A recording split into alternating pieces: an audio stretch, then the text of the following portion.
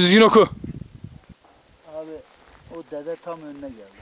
Ya dedeye selam. Dede bak abi. Sen Çinlisin. Sen ta Çin'e git. He. Bir şaplak vurmadan gel. Kafan attırmıştır yine birisi. Gökhan getirdin mi? Getirdim. Hemen aç bilgisayarı. Hemen aç, hemen aç, hemen aç. Aç olduğun yere. Ali abi Çin'e gitmiş. Şaplak vurmamış. Afganlıya. Daha bugün dehşet sıcak vardı. Vallahi bugün ben ofiste acayip kafam bulandı ya. Şimdi o P21 doğru mu? P21 Ali abi. 21. Nerede Yalçın baba? Okey. Ne oldu?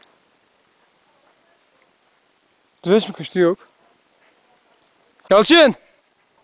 Sağlam tut. Hemen aç. Haldan. Harika görünüyorsun mu? He? Ben mi? Çok yakışıklı adamsın ha. Tam karizma. Gökhan. P21. Şimdi sen de dur şöyle bir seni şöyle ayrı Açtın mı? Vay be Gökhan. Okulda iyi bir karizma ha. Laptopta sağda çalışıyorsun. Oy. Sağda laptop var. Sen de bizi şuradan bir çek ya. Şöyle. Ali bizi çek. Ali abinin yanında. Ali abi bırak o işi şöyle bir bakalım. Nasıl karanlık mı? Yo gayet iyi. Ha tutsana. Ya biraz kibar konuş. Tutar mısın?